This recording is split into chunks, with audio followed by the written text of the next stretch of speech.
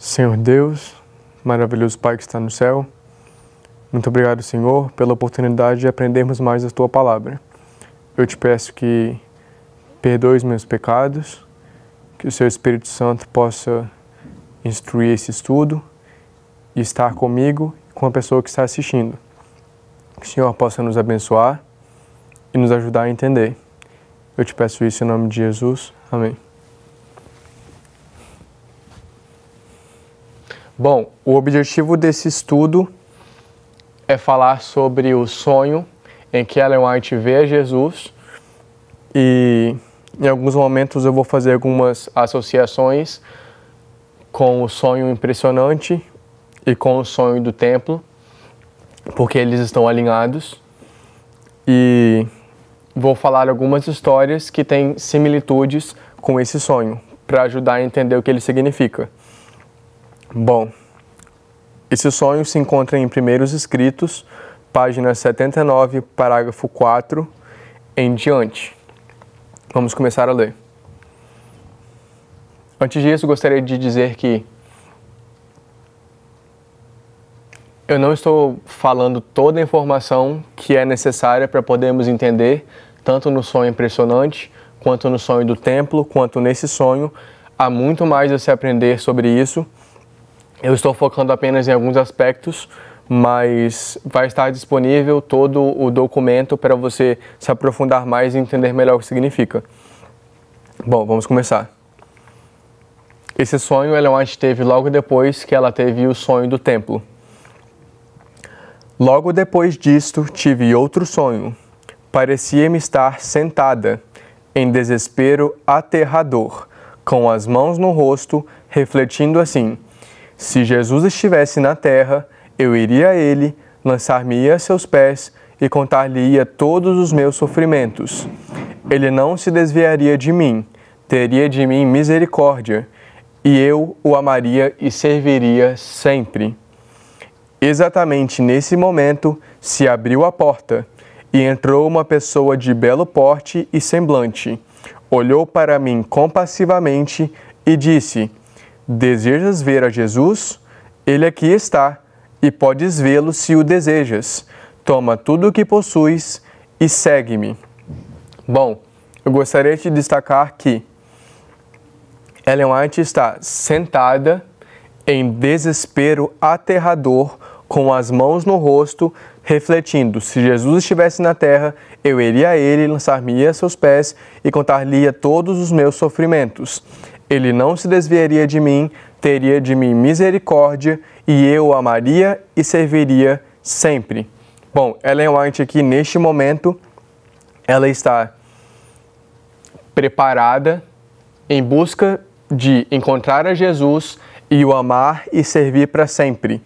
Lançar a seus pés e o amar e servir sempre. Nesse momento, Ellen White está manifestando o caráter.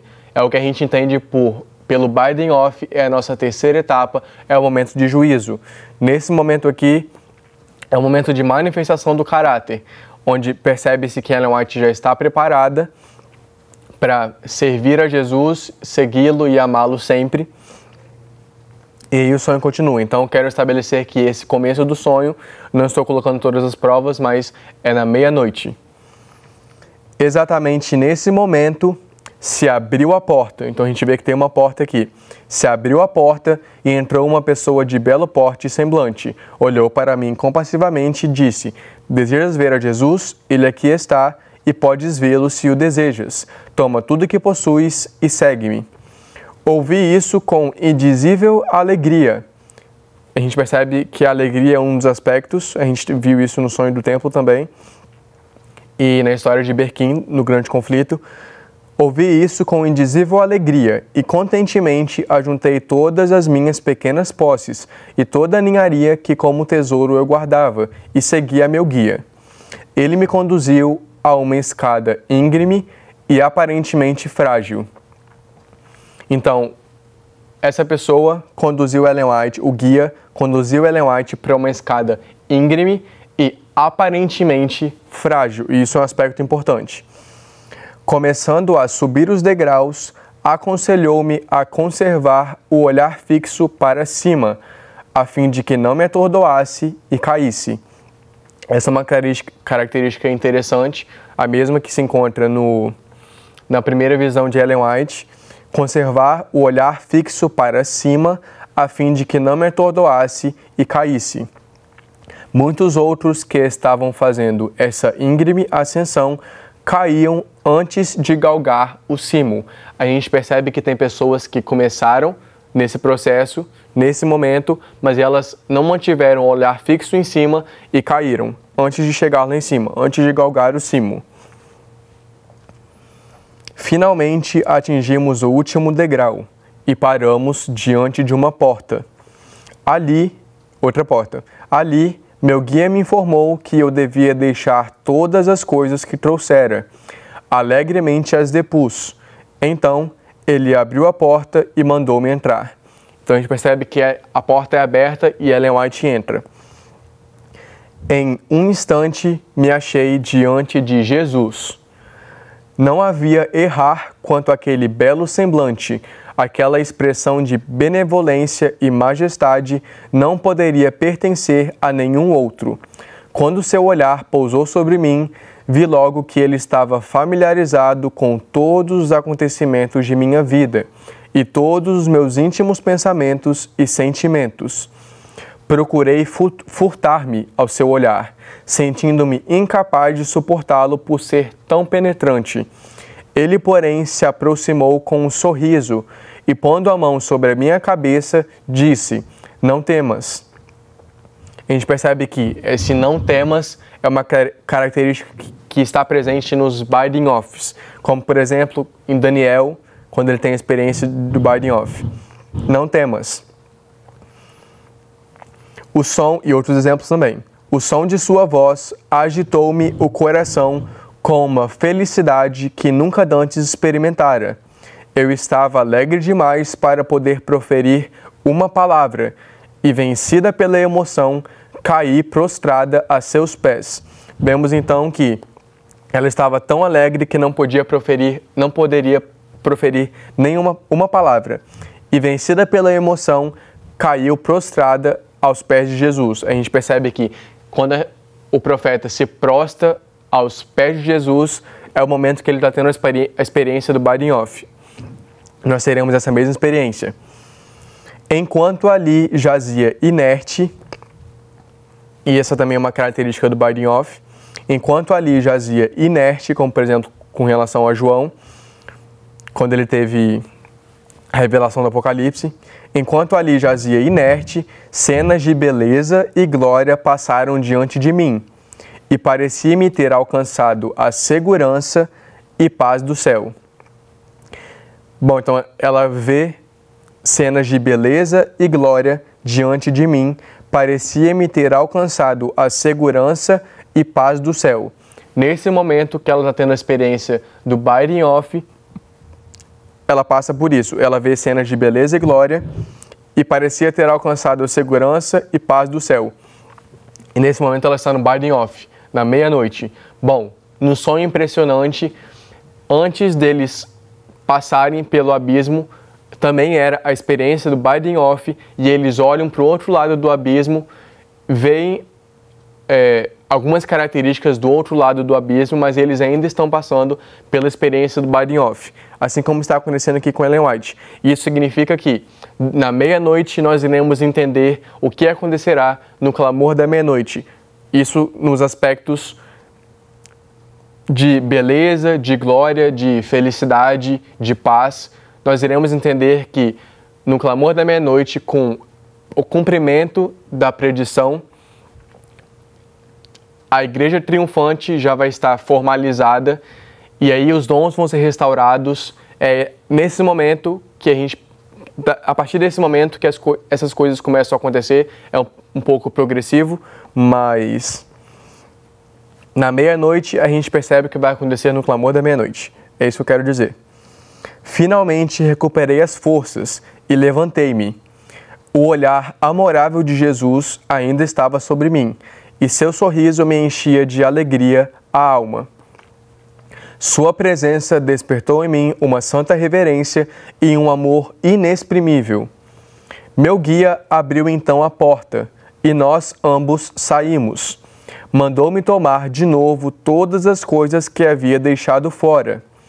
Isto feito, entregou-me um fio verde muito bem enovelado. A gente percebe que foi dado a Ellen White um fio verde muito bem enovelado. Este ele me disse que colocasse perto do coração, e quando quisesse ver a Jesus, que o tirasse do seio e o estirasse inteiramente. Um aspecto que eu gostaria de fazer apenas de maneira rápida. Ezequiel, quando ele tem a experiência do binding off em Ezequiel 1, isso é no quarto dia do quinto mês, e a gente sabe que no quarto dia do quinto mês é o dia 21 de julho, é quando ocorreu a meia-noite na época milerita, e a gente percebe então que Ezequiel, nesse ponto, está sendo representado na meia-noite, é quando ele tem a visão, dentre várias coisas importantes que precisamos entender, a visão de rodas dentro de rodas. Ele vê como se rodas estivessem dentro de rodas. E a gente vê essa estrutura de rodas dentro de rodas. E a gente entende que rodas dentro de rodas são os paralelos das linhas do trato de Deus com o povo. A gente percebe que foi dado um fio verde a Ellen White, eu vou falar mais sobre isso depois, um fio verde para, para Ellen White e ele estava enovelado. Quando ela quisesse ver a Jesus, ela deveria estirar inteiramente. Quando se estira o fio enovelado, o fio enovelado, ele vira uma linha. Bom. Quinto dia, quarto mês. Desculpa, quinto dia do quarto mês. Não é o quarto dia do quinto mês, é o quinto dia do quarto mês. Foi o dia 21 de julho. Quinto dia do quarto mês é o dia 21 de julho, na época milerita. E aí a gente tem que entender um pouco melhor sobre os calendários. Preveniu-me de que o não deixasse ficar enrolado durante muito tempo, para que não se embaraçasse e fosse difícil dese... Desculpa, fosse difícil dese... desemaranhar. Então a gente não pode deixar enrolado durante muito tempo. Ele tem que ser estirado. A linha, a linha verde, o fio verde. Coloquei o fio junto ao coração e, cheia de alegria, desci a estreita escada, louvando ao Senhor. E a gente vê um louvor a Deus, louvando ao Senhor assim como no, no sonho do templo, onde as pessoas sentavam, sentadas estavam louvando e dizendo a todos com quem me encontrava onde poderiam encontrar Jesus. A gente percebe então, vou continuar e vou fazer o comentário. Este sonho deu-me esperança. O fio verde representava ao meu espírito a fé, e a beleza e simplicidade de confiar em Deus me começaram a raiar na alma. A gente percebe que quando Ellen White acabou de ver a Jesus e saiu da, saiu da porta junto com o guia, ela tinha acabado a experiência do Biden Off e ela recebe um fio verde. Isso também ajuda a entender porque a grama, no final, do outro lado do abismo, a grama, que era por volta de 6 polegadas, a grama também era verde. E a gente consegue fazer esse paralelo nesses dois momentos. Ellen White diz que depois que ela desceu a escada, louvando ao Senhor, dizendo a todos com quem me encontrava onde poderiam encontrar Jesus. Nesse momento do binding off, a gente deve contar aos outros onde encontrar Jesus, mostrar o caminho para as pessoas. Os sacerdotes vão mostrar os caminhos para os levitas. Bom, e Ellen White fala: o fio verde representava ao meu espírito a fé. Então ela fala o que é o fio verde, o que o fio verde representava. O fio verde representava ao meu espírito a fé e a beleza e simplicidade de confiar em Deus. Me começaram a raiar na alma antes deles atravessarem um abismo no sonho impressionante, eles também estavam lidando com a questão de confiança, de ter fé. Eles tiveram que ter fé que Deus estava segurando as cordas, que representam linha sobre linha. Eles tiveram que ter fé nisso. nas cordas que Deus estava segurando. E aqui, da mesma forma, o fio verde representa ao meu espírito a fé e a beleza e simplicidade de confiar em Deus, porque eles tiveram que confiar em Deus também para atravessar o abismo, que é o pecado que distancia nós de Deus, me começaram a raiar na alma. Bom, eu vou fazer apenas alguns paralelos, vou parafrasear alguns textos. Um texto fala que à meia-noite é quando as pessoas estão em desespero, quando as virgens prudentes estavam em desespero e agonia, é, depressão, em inglês é gloom, é, melancolia. Melancolia e desespero à meia-noite. Então a gente percebe que quando a White estava passando antes do guia aparecer, ela estava no desespero. Isso é meia-noite. Bom, sugiro que você leia todas as notas que vão ajudar a fundamentar o que está sendo falado. Eu vou ler agora sobre Jacó e a escada, porque é para entendermos o que tudo, qualquer coisa que a gente queira entender o significado, nós precisamos comparar com outros textos do Espírito de Profecia e da Bíblia para podermos entender o significado. Não é somente a gente ler um texto e falar, eu acho que isso representa isso, eu acho que isso representa aquilo. A gente tem que estar bem fundamentado e saber provar tudo que a gente fala. E para isso, nós temos que estudar linha sobre linha, preceito sobre preceito, um pouco aqui e um pouco ali. Essa é a verdade tal como é em Jesus. É assim que a gente entende os assim que a gente entende os assuntos espirituais. Bom, Jacó e a escada, Patriarcas e Profetas, página 126, parágrafo 4 até 127, parágrafo 5. Cansado da jornada, o viajante deitou-se no chão, tendo uma pedra como travesseiro. Dormindo, viu uma escada, brilhante e resplendente, cuja base repousava na terra, enquanto o cimo alcançava o céu. Por essa escada, anjos estavam a subir e a descer. Por sobre ela estava o Senhor da glória, e dos céus foi ouvida sua voz: Eu sou o Senhor, o Deus de Abraão, teu pai, e o Deus de Isaque. A terra em que estava deitado como um exilado e fugitivo foi prometida a ele e sua posteridade com essa declaração: Em ti e na tua semente serão benditas todas as famílias da terra. Gênesis 28, 13 e 14. Essa promessa tinha sido feita a Abraão e Isaque e agora foi renovada a Jacó. Então, em atenção especial à sua solidão e angústia, mesmo são características similares ao que Ellen White estava sentindo no começo do sonho.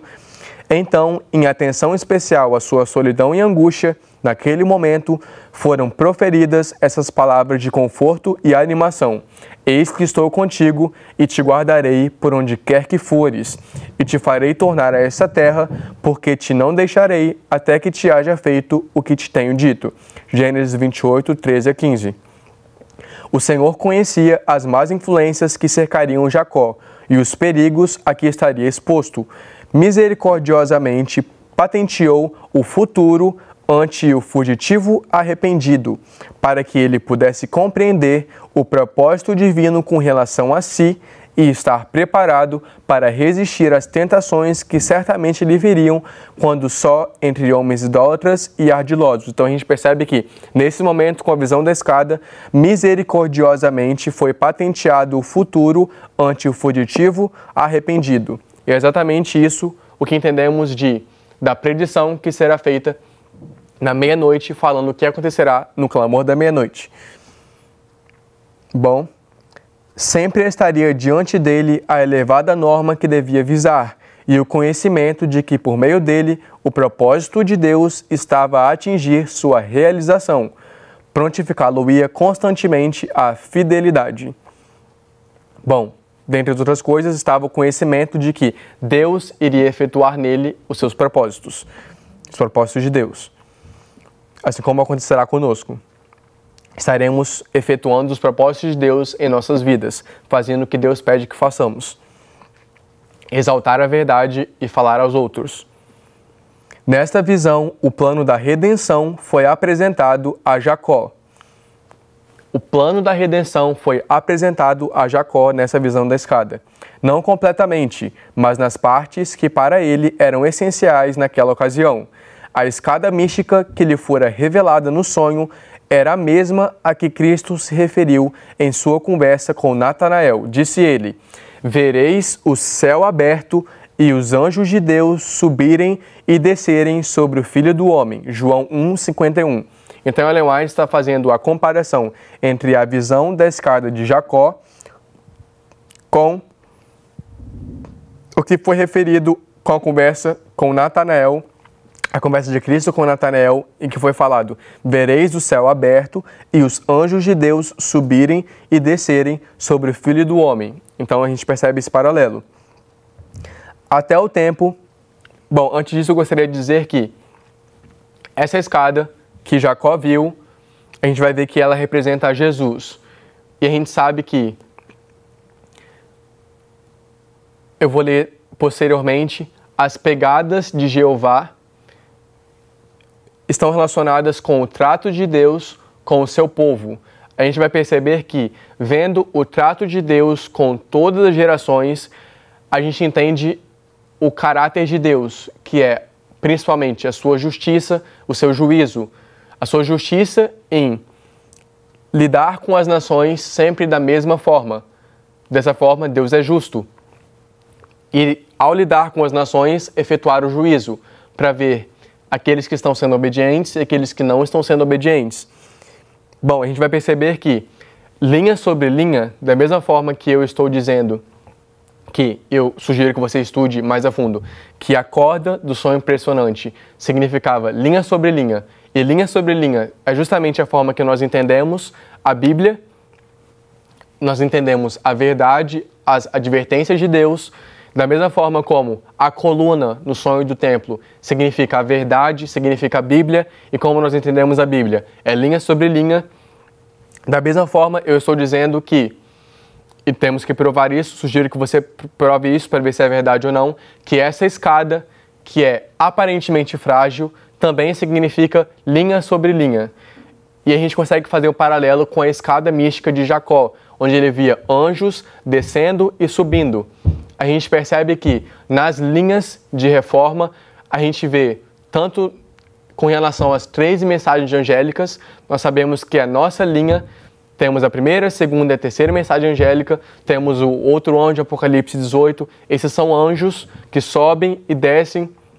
Sugiro que você entenda quando o anjo desce, o anjo Apocalipse 18 também, essa relação de subir e descer. Além disso, nós vemos em outras histórias anjos que aparecem em alguns momentos, como por exemplo no batismo de Jesus, não foi um anjo, mas foi uma pomba, uma manifestação divina. Tudo isso, essa escada com os anjos subindo e descendo, representam as linhas, o trato de Deus com o seu povo. Bom, e aí vamos entender que as linhas, o trato de Deus com o seu povo, a verdade revela Cristo, revela Jesus Cristo, que é o Verbo que desceu e habitou aqui. Então a gente percebe que a escada é linha sobre linha e ela aponta para Cristo. Então Cristo também é escada. Vamos continuar lendo.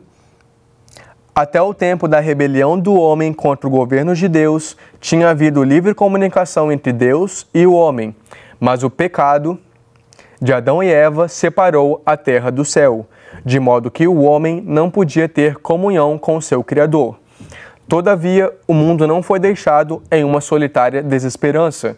A escada representa Jesus, o meio designado para a comunicação não houvesse ele, com seus próprios méritos, estabelecido uma passagem através do abismo que o pecado efetuou, e a gente percebe que o paralelo com o sonho impressionante, onde o que ligava um lado do outro para que eles passassem o abismo era a corda.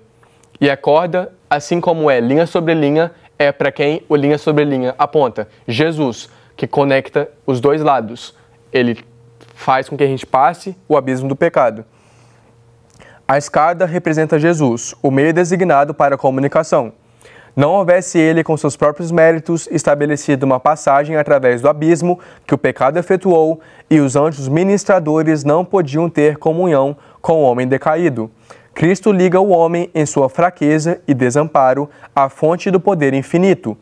Tudo isso foi revelado a Jacó no sonho, se bem que sua mente de pronto aprendesse parte da revelação, as grandes e misteriosas verdades da mesma forma da mesma, desculpa, grandes e misteriosas verdades da mesma foram o estudo de sua vida toda, e mais e mais se lhe desvendava a compreensão. Jacó despertou do sono no profundo silêncio da noite. As formas resplandecentes da visão haviam desaparecido. Apenas o obscuro contorno das colinas solitárias e acima delas o céu resplendente de estrelas encontravam agora o seu olhar. Tinha, porém, uma intuição solene de que Deus estava com ele. Uma presença insensível enchia a solidão. Na verdade, o Senhor está neste lugar, disse ele, e eu não sabia. Este não é outro lugar senão a casa de Deus, e esta a porta dos céus. Gênesis 28, 16, 17. Então levantou-se Jacó pela manhã de madrugada e tomou a pedra que tinha posto por sua cabeceira e a pôs por coluna e derramou azeite em cima dela. A gente percebe o paralelo com o sonho do templo, onde havia uma coluna e o cordeiro amarrado à coluna e a pôs por coluna e derramou azeite em cima dela. Gênesis 28, 18. De acordo com o costume de comemorar acontecimentos importantes, Jacó construiu um memorial da misericórdia de Deus, para que, quando quer que passasse por aquele caminho, pudesse demorar-se naquele local sagrado para adorar ao Senhor. E chamou o lugar Betel, ou Casa de Deus. Com profunda gratidão, repetiu a promessa de que a presença de Deus seria com ele e então fez esse voto solene: Se Deus for comigo e me guardar nessa viagem que faço, e me der pão para comer e vestidos para vestir, e eu em paz tornar a casa de meu pai, o Senhor será o meu Deus, e esta pedra que tenho posto por coluna será a casa de Deus. E tudo quanto me deres, certamente te darei o dízimo. Gênesis 28, 20 a 22. Bom, então a gente percebe as semelhanças entre a visão, o sonho de Jacó com O Sonho de Ellen White. Agora eu vou ler com relação a Tomé, que está em Desejado Choro das Nações, página 560, desculpa, 569, parágrafo 4, até 570, parágrafo 1. Quando Jesus se encontrou pela primeira vez com os discípulos no cenáculo, Tomé não se achava com eles. Ouviu a narração dos outros e teve abundantes provas de que Jesus tinha ressuscitado mas a tristeza e a incredulidade enchiam-lhe o coração.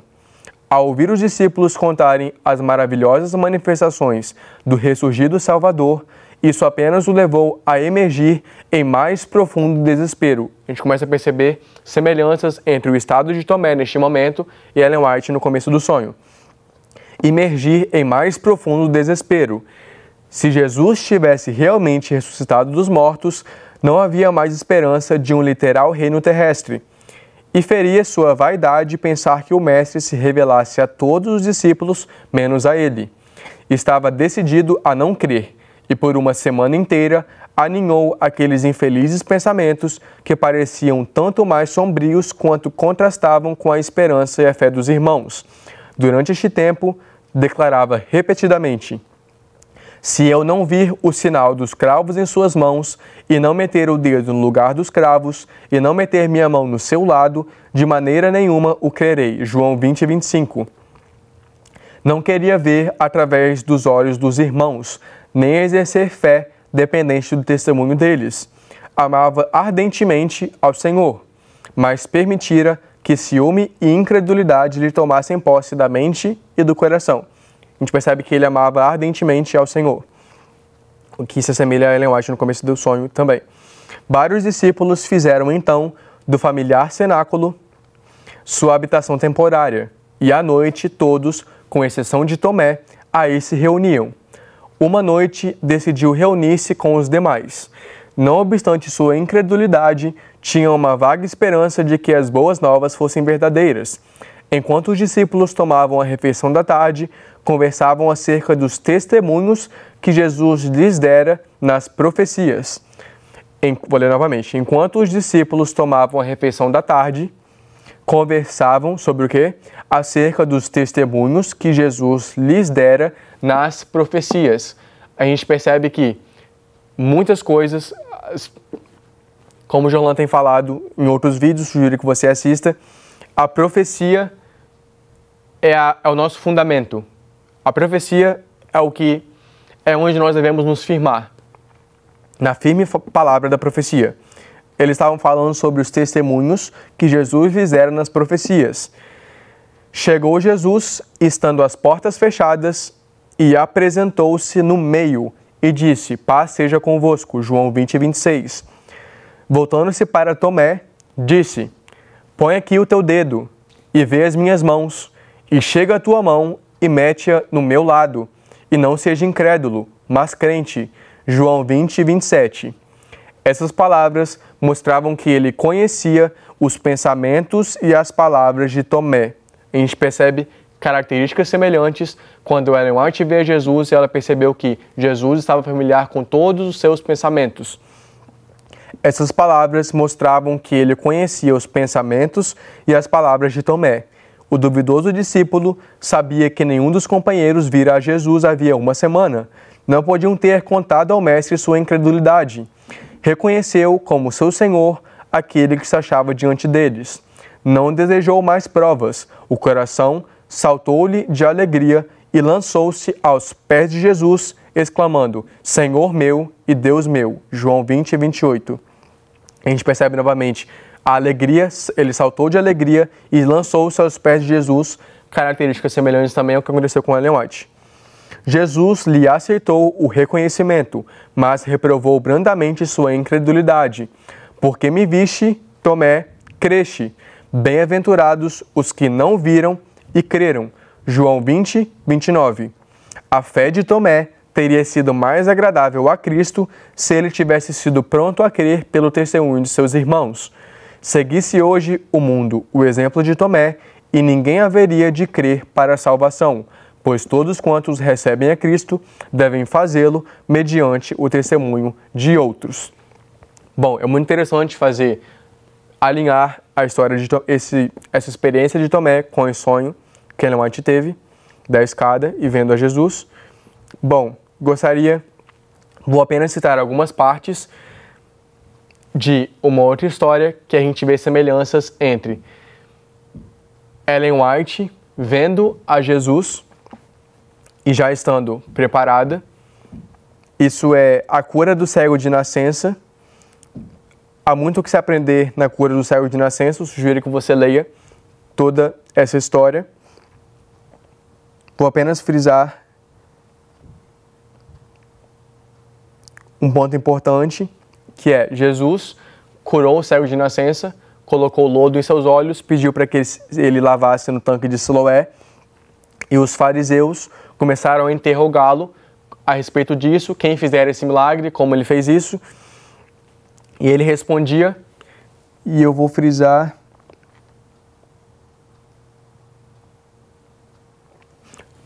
um ponto importante que é os pais dele do cego foram interrogados, mas eles estavam com medo de ser expulsos da sinagoga. Então eles falaram: ele já tem idade, pergunte a ele.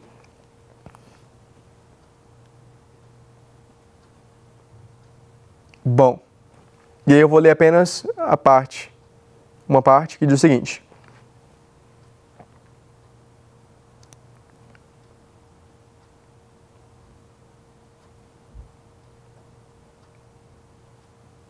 o dilema em que se achavam os fariseus, suas perguntas e preconceitos, sua incredulidade em face dos fatos desse caso estavam abrindo os olhos da multidão, especialmente do povo comum. Jesus operara frequentemente seus milagres em plena rua, e sua obra era sempre de molde a aliviar sofrimentos. A pergunta em muitos espíritos era: faria Deus tão, tão poderosas obras por meio de um impostor, como afirmavam os fariseus ser Jesus? o conflito estava se tornando muito acalorado de parte a parte. Eu estou lendo Desejar as Nações, página 334, parágrafo 2 em diante. Desejar sobre as Nações, página 334, parágrafo 2, em, segui, em diante. do, os fariseus viram que estavam dando publicidade à obra realizada por Jesus. Não podiam negar o milagre. O cego estava cheio de alegria e reconhecimento, contemplava as maravilhosas obras da natureza e deleitava-se ante a beleza da terra e do firmamento. Contava francamente o caso e, de novo, o procuravam fazer calar, dizendo: Dá glória a Deus, nós sabemos que esse homem é pecador, isto é, não tornes a dizer que este homem te deu a vista, foi Deus que o fez. O cego respondeu: Se é pecador, não sei. Uma coisa sei. É que. Uma coisa sei. E é que, havendo eu sido cego, agora vejo. João 9, 24 e 25. Então tornaram a interrogá-lo. Que te fez ele? Como te abriu os olhos? João 9, 26. Com muitas palavras o procuraram confundir, a fim de que se julgasse iludido. Satanás e seus maus anjos estavam do lado dos fariseus. Satanás e seus maus anjos estavam do lado dos fariseus e uniram suas energias e sutilezas ao raciocínio dos homens para neutralizar a influência de Cristo. Enfraqueceram as convicções que já se aprofundavam em muitos espíritos. Anjos de Deus estavam também a campo, a fim de fortalecer o homem cuja vista fora restaurada. Os fariseus não compreendiam que tinham de tratar com algo que tinham de tratar com algum outro além do ignorante homem que nascera cego. Não conheciam aquele com quem se achavam em conflito. Luz divina brilhou nos recessos da alma do cego. Enquanto esses hipócritas procuravam fazê-lo descrer, Deus o ajudou a mostrar, pelo vigor e precisão das respostas, que não seria enlaçado. Respondeu: Já vou-lo disse, e não ouvistes? Para que o quereis? Para que o quereis tornar a ouvir? Quereis vós, porventura, fazer-vos também seus discípulos? Então o injuriaram e disseram: Discípulo dele sejas tu, nós, porém, somos discípulos de Moisés. Nós bem sabemos que Deus falou a Moisés, mas este não sabemos de onde é.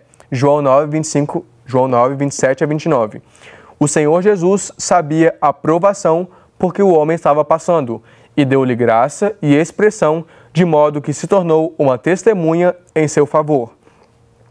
Respondeu, respondeu ele aos fariseus, em palavras que constituíam incisiva censura a seus interrogadores.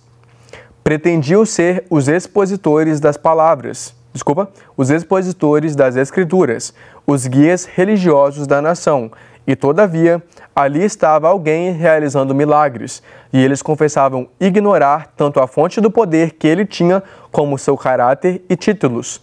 Nisso, pois, nisso, pois, está a maravilha, disse o homem, que vós não sabeis de onde ele é, e me abrisse os olhos. Ora, nós sabemos que Deus não ouve a pecadores, mas se alguém é temente a Deus e faz a sua vontade, a esse ouve. Desde o princípio do mundo, nunca se ouviu que alguém abrisse os olhos a um cego de nascença. Se este não fosse de Deus, nada poderia fazer. João 9, de 30 a 33. O homem havia enfrentado seus inquiridores com as próprias armas por eles manejadas. Seu raciocínio era irrefutável. Os fariseus estavam pasmados e calaram-se, estupefatos diante de suas precisas e decisivas palavras. Por alguns momentos houve silêncio. Depois, os sacerdotes e rabinos, de sobressenho carregado, apanharam e aconchegaram a si as vestes, como a temer contaminação do contato com ele. Sacudindo o pó dos pés, atiraram-lhe as acusadoras palavras. Tu és nascido todo em pecados, e nos ensina a nós? João 9, 34. E excomungaram-no. Jesus, ouvindo o que acontecera e encontrando pouco depois, disse. Então Jesus já se encontrou com o cego e diz: Crês tu no Filho de Deus? João 9,35. Pela primeira vez, contemplou o cego o rosto de seu restaurador. Então, o cego está vendo o rosto de Jesus. Ante o conselho, vira seus pais turbados e perplexos. Olhara a severa fisionomia dos rabinos. Agora, seus olhos descansavam sobre o amorável e sereno semblante de Jesus. Com grande dificuldade, já o reconhecera como delegado do poder divino. Agora lhe foi conhecida maior, lhe foi concedida maior revelação. Bom, e aí continua, Jesus pergunta se ele crê no Filho de Deus. E aí Jesus, Jesus fala a respeito de aqueles que são cegos verão, e aqueles que se dizem que não são cegos continuarão em pecado. Sugiro que você leia porque é muito interessante sugiro que você entenda cada ponto dessa história da cura do cego, porque é muito importante. Bom, a cura do paralítico, eu também vou ler apenas algumas partes. Sugiro que você leia toda ela para estabelecer as semelhanças com as histórias.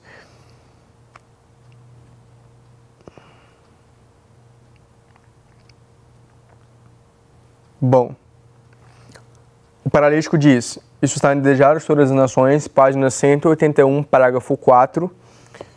Toda a história se encontra até o parágrafo, página 184, parágrafo 4. Eu vou apenas mencionar algumas partes. O paralítico dizia: Ó, oh, se eu pudesse chegar à sua presença. Não havia tempo a perder. Já sua consumida carne começava a mostrar indícios de decomposição. Rogou aos amigos que o conduzissem em seu leito a Jesus, o que empreenderam de boa vontade.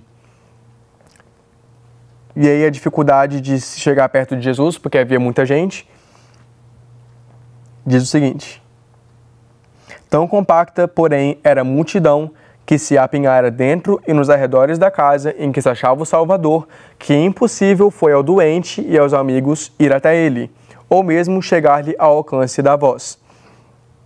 Jesus estava ensinando na casa de Pedro. Segundo seu costume, os discípulos sentaram-se sentaram-se-lhe bem próximo. Isso também é um aspecto importante. Em torno. E aí fala todos os tipos de pessoas que estavam ali. Repetidamente procuraram os condutores do paralítico abrir caminho por entre, por entre a multidão, mas em vão. O enfermo olhava em derredor de si com indizível angústia. E a gente começa a perceber paralelos com o sonho de Ellen White. Quando tão ansiado socorro tão perto estava, como poderia renunciar à esperança? Por sugestão sua, os amigos o levaram ao telhado e abriram um buraco no teto. Baixaram-no aos pés de Jesus. A gente percebe então que eles foram pelo telhado, abriram um buraco, baixaram ele, não falou como eles baixaram ele, não falou que era através de uma corda, mas a gente já começa a conseguir fazer paralelos com isso. Baixaram aos pés de Jesus. E aí continua mostrando como Jesus o curou. Agora, em palavras que soaram qual música aos ouvidos do enfermo, o Salvador disse: Filho, tem bom ânimo, perdoados te são os seus pecados.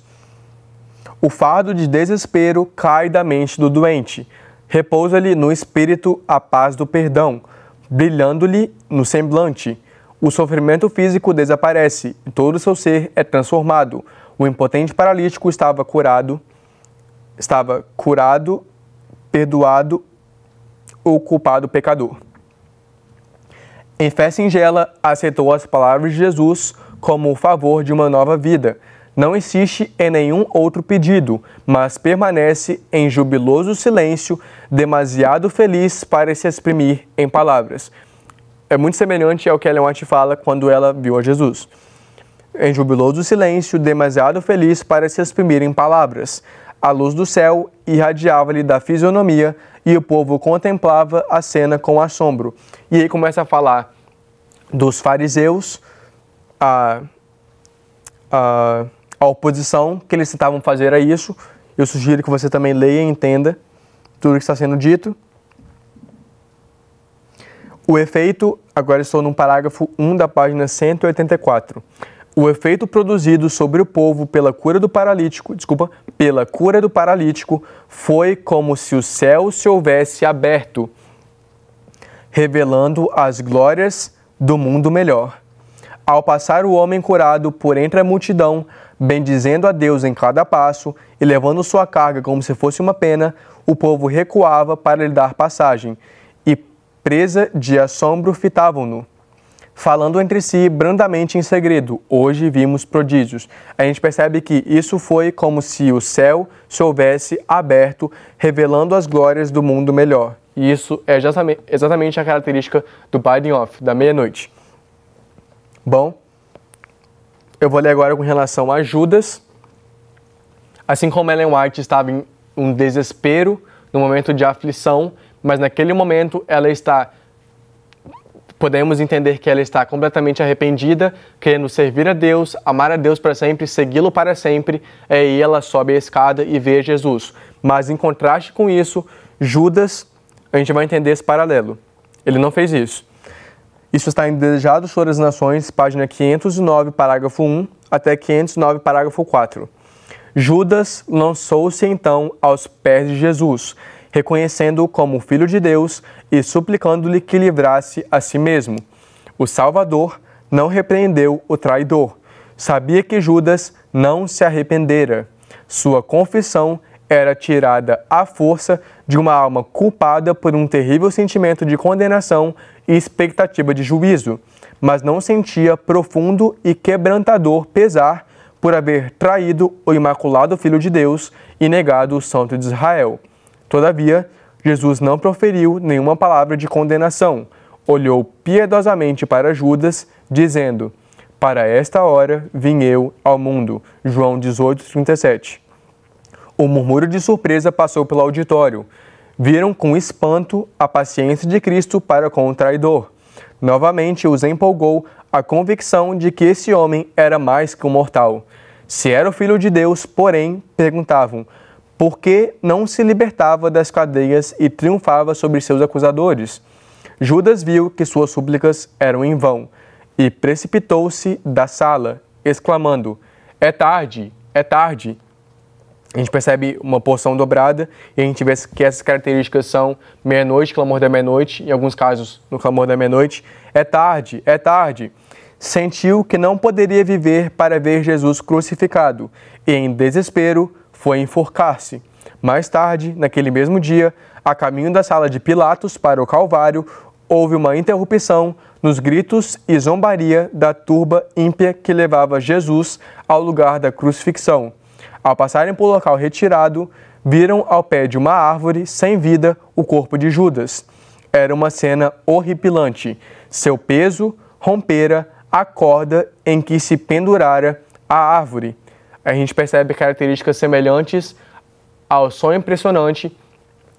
Eu não lembro se eu fiz esse comentário no sonho, mas aqueles que acreditam no linha sobre linha e aprendem a verdade tal como é em Jesus através desse método, eles confiam na corda e passam pelo abismo e cumprem o que Deus queria que eles fizessem. Mas aqueles que não estão segurando a corda, a forte corda queria sustentá-los. Se a corda é fraca, não é linha sobre linha, a corda ela vai pocar. A corda vai se romper. Foi exatamente o que aconteceu com Judas. A corda se rompeu em que se pendurara a árvore. Ao cair, rebentara-se-lhe terrivelmente o corpo, e cães o estavam agora devorando. Seus restos foram imediatamente enterrados e ocultos às vistas. Houve, porém, menos escárnios entre a turba e muitos rostos pálidos. Desculpa, e muitos rostos pálidos revelavam os pensamentos interiores. A retribuição parecia visitar já os que eram culpados do sangue de Jesus. Bom, e agora para indo para o final da apresentação, com relação ao fio verde que Ellen White recebeu, ou a linha verde, isso está em BS, página 57, parágrafo 2 até o parágrafo 3. Assim como podemos assinalar o curso de uma corrente de água pela linha de vegetação verde que ela produz, ou seja, se eu vejo uma linha de vegetação verde, eu consigo entender que ali há um curso de uma corrente de água. Assim como podemos assinalar o curso de uma corrente de água pela linha de vegetação verde que ela produz, assim Cristo pode ser visto nas obras de misericórdia que marcou cada passo do seu caminho. Então está sendo, tá sendo feita a comparação da linha de vegetação que mostra o curso da corrente de água com as obras de misericórdia que marcou cada passo do caminho de Jesus com Cristo sendo revelado. Aonde quer que ia, brotava a saúde, a felicidade se seguia onde quer que ele passasse. Os cegos e os surdos se rejubilavam em sua presença. E a gente consegue alinhar a história dos cegos. Aos ignorantes, suas palavras abriam a fonte da vida. Ele dispensava suas bênçãos abundante e continuamente. Eram os armazenados tesouros da eternidade dados em Cristo, o rico dom do Senhor ao homem. A obra de Cristo em favor do homem não está terminada. A obra de Cristo em favor do homem. Ele, desculpa, ela continua ainda hoje.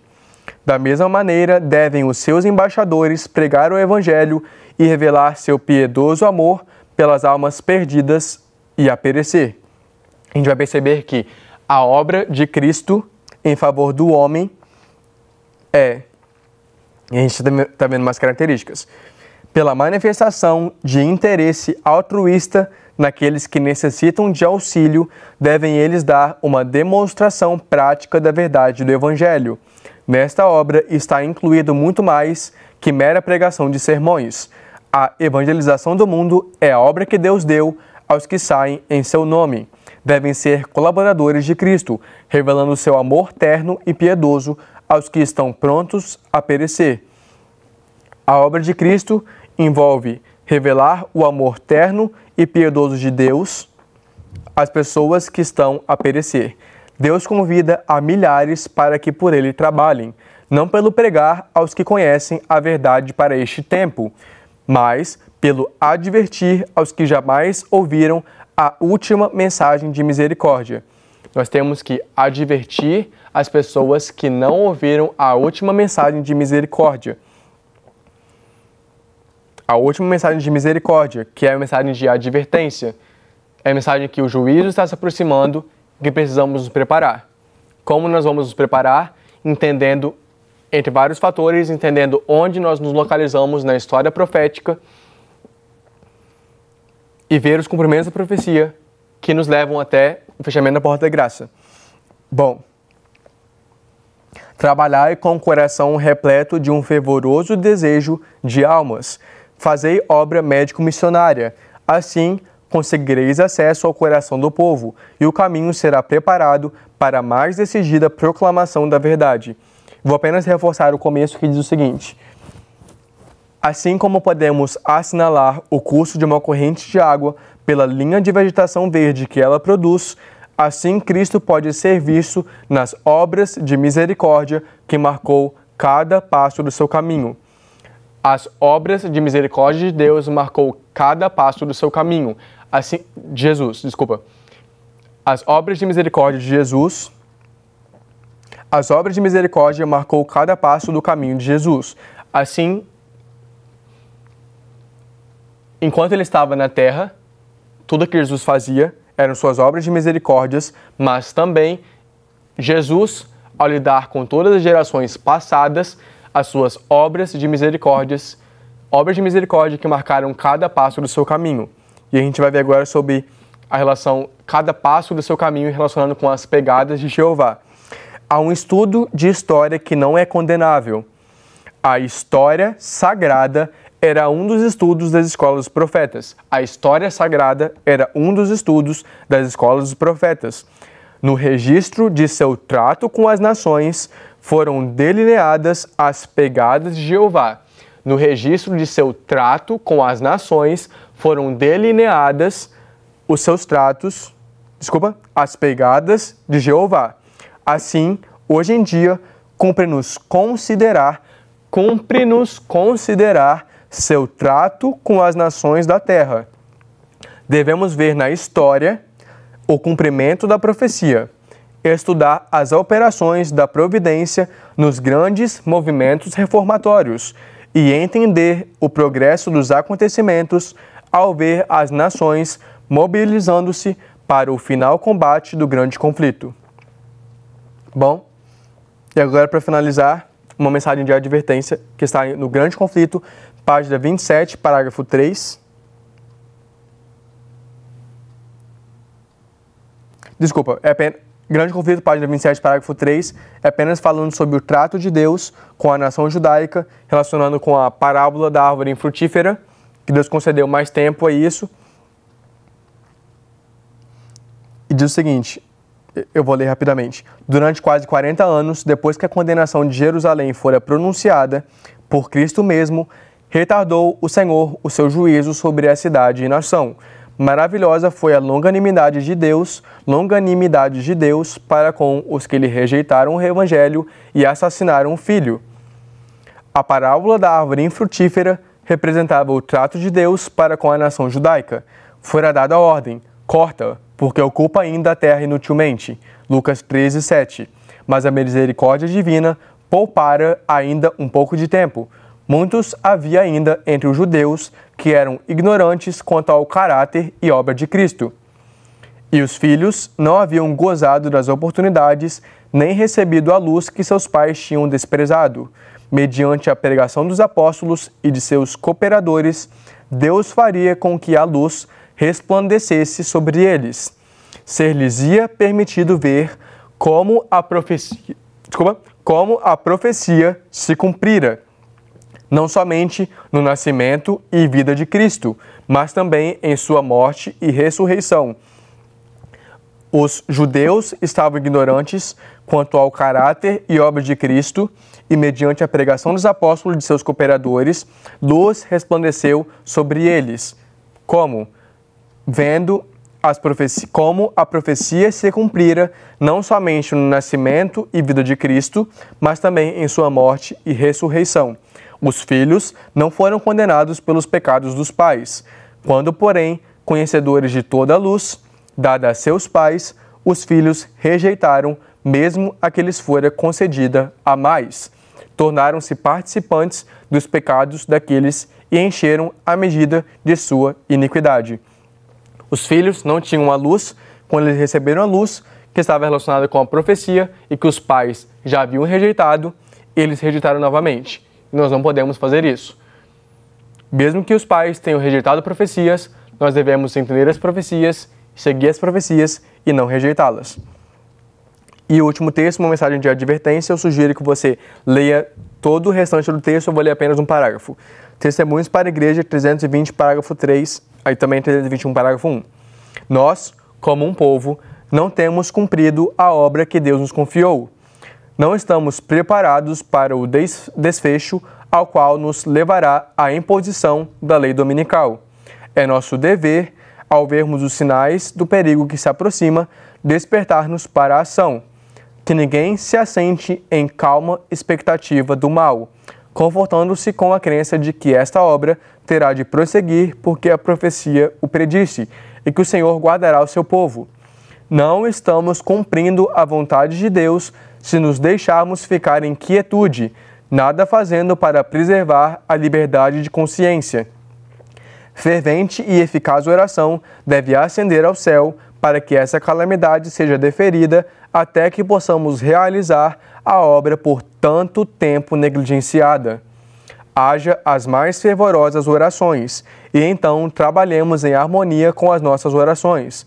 Pode parecer que Satanás seja triunfante e que a verdade seja abatida pela falsidade e o erro. O povo sobre o qual Deus estendeu seu escudo e o país que tem sido um asilo para os servos de Deus e defensores da verdade, oprimidos em sua consciência, podem correr perigo. Mas Deus deseja que recordemos, recordemos, mas Deus deseja que recordemos seu trato com seu povo no passado, para salvá-los dos inimigos. Temos que recordar seu trato com seu povo no passado para salvá-los dos inimigos. Ele sempre tem escolhido extremidades, ocasiões em que parecia não haver possibilidade de libertamento das operações de Satanás para a manifestação de seu poder. A necessidade do homem é a oportunidade de Deus. Pode ser que ainda seja concedido ao povo de Deus um prazo para despertar e fazer brilhar sua luz. Se a presença de dez justos teria salvo as impensidades da planície, não será possível que Deus, em resposta às orações de seu povo, mantenha em xeque as operações dos que anulam sua lei? Não deveremos humilhar grandemente o coração perante Deus, fugindo para junto do trono de misericórdia e instar com ele para que revele seu grande poder? Se nosso povo continuar na atitude indiferente na qual tem estado, Deus não poderá derramar sobre eles o seu espírito. Não estarão preparados para cooperar com ele. Não estão despertos para com a situação e não reconhecem o perigo que ameaça. Devem sentir agora, qual nunca dantes, sua necessidade de vigilância e ação coordenada. Bom, é com esse texto que eu termino. Vou apenas com relação a este sonho que Ellen White vê a Jesus, ela estava num desespero aterrador percebe que ela estava arrependida, querendo seguir a Jesus, é amá-lo para sempre, quando um guia vem a ela, abre a porta, pergunta se ela quer ver a Jesus. Essa experiência de ver a Jesus é a experiência do biting off, do período de atamento, do momento de juízo da nossa história à meia-noite, antes do clamor da meia-noite. Nesse momento nós devemos estar preparados com humilhação, em busca de ver a Jesus e verdadeiramente arrependidos de tudo que a gente fez. Devemos estar prontos, deixando tudo para trás e instando com Jesus para segui-lo. Bom, nesse momento Ellen White sobe a escada. Essa aqui é apenas uma ilustração. A porta é aberta, ela sobe a escada, a qual eu estou alinhando essa escada com a escada de Jacó, com Natanael, a história de Natanael que foi proferido para ele, assim como assim como essa escada liga onde ela está com para onde Jesus está, a corda ligava onde eles estavam, passando pela, por aquela experiência difícil, com o outro lado de alegria, perfeita alegria, onde deram um grito triunfal. O que liga a gente com Deus é a corda que é linha sobre linha, assim como essa escada liga a gente com Jesus, também é linha sobre linha, onde vemos, no caso de Jacó, os anjos subindo e descendo. Quando ela sobe essa escada, ela vê Jesus, se prostra aos seus pés, sabe que Deus está sabe, sabe tudo da vida dela, dos seus pensamentos, ela fica completamente feliz e a gente alinha isso com o sonho do templo, o sonho impressionante com várias outras histórias, quando ela sai da porta, ela recebe um fio verde, uma linha verde, e a gente consegue perceber que isso está relacionado com a fé. Isso também está relacionado com, com o texto que relaciona a linha verde da vegetação com os tratos de Deus, com as pegadas, com cada passo que marcou o caminho de Jesus, com as pegadas de Jeová, que são os tratos de Deus, que é linha sobre linha. E ela fala para todas as pessoas onde eles podem encontrar a Jesus. Bom, vou apenas finalizar com o seguinte texto, Hebreus 11. Hebreus 11, porque sabemos que a, que a corda, a linha verde, significa fé. Vamos entender o que é fé. Hebreus 11,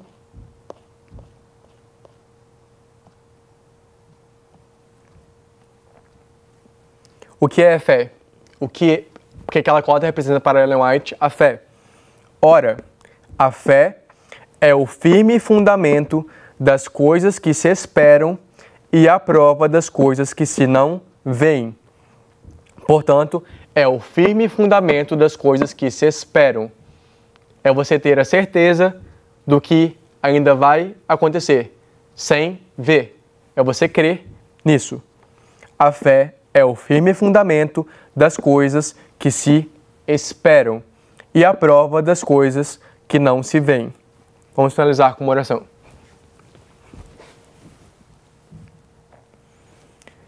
Senhor Deus, Criador de todas as coisas, obrigado, Senhor, porque nós não, nós não estamos deixados como se o Senhor não estivesse cuidando de tudo. Obrigado porque o Senhor comanda todas as coisas, o Senhor dirige todas as coisas. E muito obrigado porque temos a luz da Sua palavra, da Sua inspiração através do Espírito Santo, por meio da Bíblia do Espírito de profecia. Eu te peço que essa verdade possa nos libertar, nos transformar e nos preparar para as coisas que estão por vir.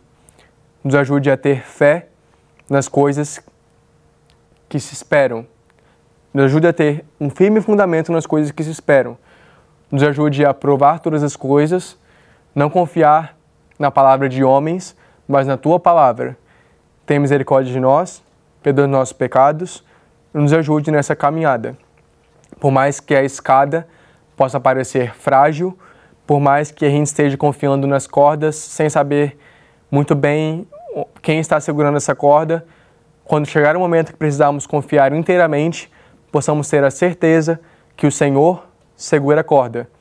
Possamos ter a certeza que, se estamos subindo essa escada, olhando a Ti, sem olhar para baixo, nós não, iremos, nós não iremos cair, mas prosseguiremos avante para fazer o que o Senhor quer que façamos. Te pedimos isso pelos seus méritos, em nome de Jesus Cristo. Amém.